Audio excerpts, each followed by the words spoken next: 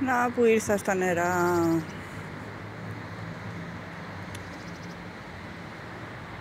Το συντριβάνι δεν λειτουργεί ακόμη, είναι νωρίς το πρωί. Παρ' όλα αυτά, αυτό που θέλαμε το κάναμε.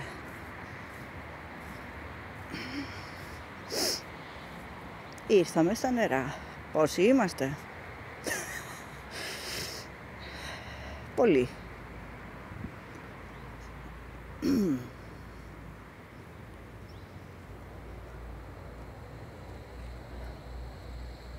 Πολύ ησυχία πέφτει στο νερό. Ανησυχητική. Ανησυχητική ησυχία στα νερά.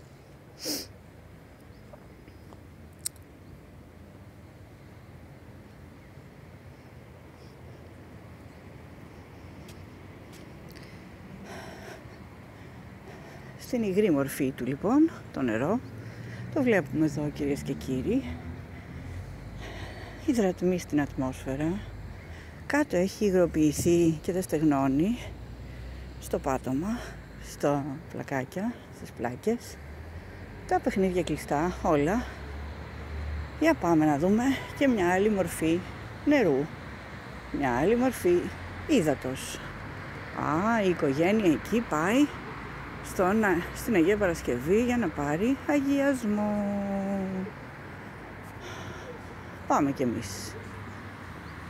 Τώρα θα δούμε σε λίγο μια άλλη μορφή ύδατος. Η κούνια ξεκλείδωτη και έρημη και μόνη. Πολύ υγρασία παντού.